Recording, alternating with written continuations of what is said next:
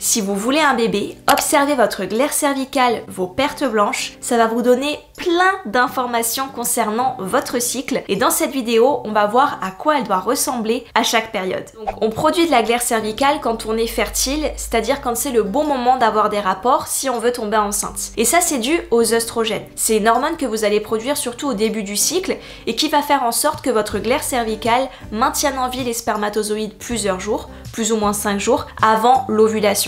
Elle va les nourrir, leur donner tout ce dont ils ont besoin pour qu'ils puissent passer de votre vagin jusqu'à la trompe où aura lieu l'ovulation, pour qu'ils puissent ensuite ben, du coup féconder l'ovule. Donc ça c'est vraiment le rôle principal de la glaire cervicale. Et une fois que l'ovulation est passée, la progestérone prend le relais, donc ça c'est une autre hormone, et elle va arrêter la production de glaire cervicale fertile puisque c'est plus nécessaire, l'ovulation est déjà passée. Donc vous, ce qui va être important, c'est que vous puissiez observer votre glaire cervicale pour vous dire « Ah, j'en ai, donc c'est le bon moment d'avoir des rapports si j'ai envie d'avoir ce bébé. » Et donc, pour vous expliquer comment l'observer, il faut d'abord que je revienne un petit peu sur votre anatomie. Votre glaire, elle est produite au niveau de votre col de l'utérus. Quand vous n'êtes pas fertile, il est fermé, et quand vous l'êtes, il s'ouvre, la glaire s'écoule et les spermatozoïdes peuvent passer. Donc vous allez pouvoir observer ce qui s'écoule de votre col, votre glaire cervicale, de plusieurs façons. La première, c'est de vous baser uniquement sur vos ressentis. Est-ce que vous êtes plutôt sèche ou humide et je reviens sur tout ça juste après. La deuxième chose, c'est de regarder ce qu'il y a sur votre papier quand vous essuyez aux toilettes ou à l'intérieur de vos sous-vêtements. Et enfin, la troisième chose, c'est de réaliser l'autopalpation. Donc c'est aller chercher directement au niveau de votre col, votre glaire pour regarder comment elle est. Alors c'est absolument pas obligatoire, mais ça peut être parfois intéressant si vous n'arrivez pas à avoir votre glaire à l'œil nu. Donc pour réaliser l'autopalpation, vous allez insérer vos doigts à l'intérieur de vous. Généralement, on choisit l'index et ou le majeur qui vont être préalablement lavés. Et donc vous allez vous accroupir ou bien mettre une jambe sur vos toilettes par exemple pour la surélever et vous allez insérer vos doigts jusqu'à votre col pour regarder comment est votre glaire. Après, si vous réalisez l'autopalpation, attention de ne pas le faire en excès pour éviter les infections et donc ça pourrait être intéressant de le faire peut-être une fois par jour seulement et en période fertile uniquement, donc dans les jours qui vont arriver avant votre ovulation. La glaire avant l'ovulation, à quoi elle ressemble?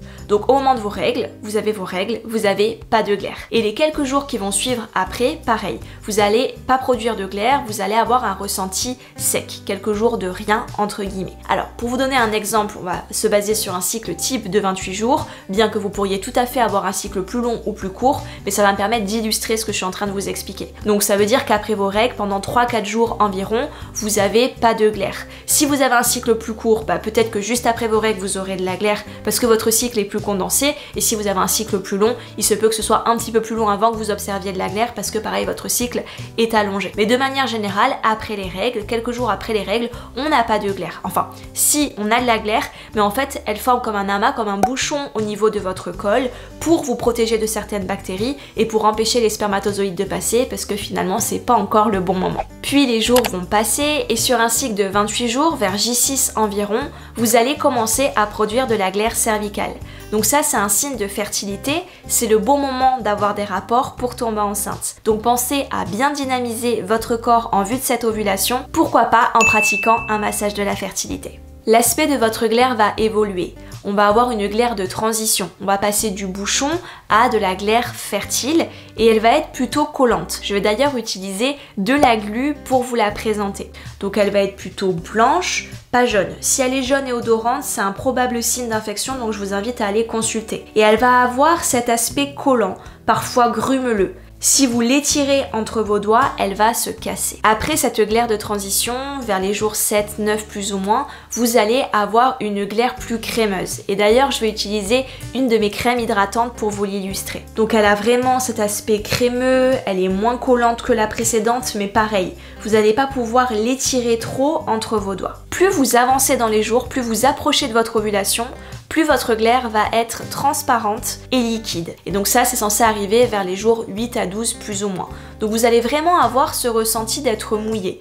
Il y a même des femmes qui vont avoir l'impression d'être sans cesse lubrifiées, même après être allées aux toilettes et s'être essuyées. Donc il y a vraiment cette sensation d'humidité que vous devriez ressentir. Et d'ailleurs pour illustrer cette glaire, je vais utiliser de l'eau.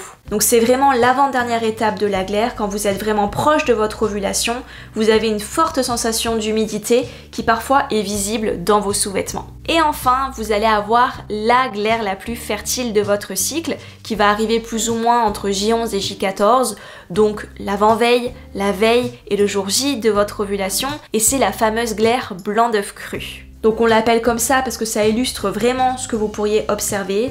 Ça peut être assez abondant, transparent et élastique, c'est-à-dire que vous allez pouvoir l'étirer entre vos doigts sans qu'elle ne casse. Dès le lendemain de votre ovulation, vous n'allez plus avoir de glaire blanc d'œuf cru parce que vous n'êtes plus fertile. Donc de là, il pourrait y avoir plusieurs choses. Soit vous ne produisez plus de glaire, vous avez vraiment une différence notable avec la veille, soit vous allez repasser sur la glaire de transition parce qu'à nouveau, un bouchon va se former, cette fois-ci pour protéger aussi le potentiel embryon qui est en train de se développer. Donc vous allez forcément vous notifier une différence. À partir du moment où il n'y a plus de glaire blanc d'œuf cru, ça veut dire que votre ovulation est passée. Si vous n'êtes pas enceinte, généralement, vous n'allez pas observer de la glaire jusqu'à vos règles.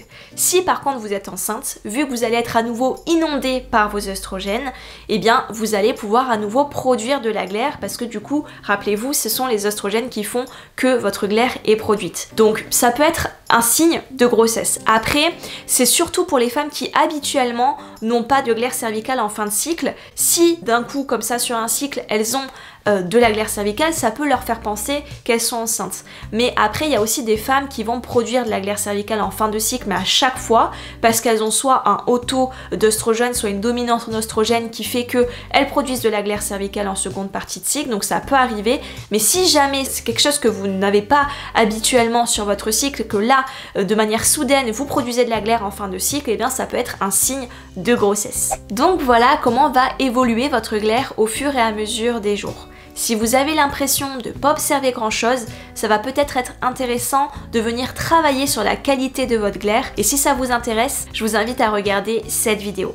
N'hésitez pas à vous abonner à ma chaîne YouTube, je vous propose très régulièrement du contenu en lien avec votre projet bébé. Je vous envoie toutes mes plus belles ondes pour la suite et je vous dis à très bientôt.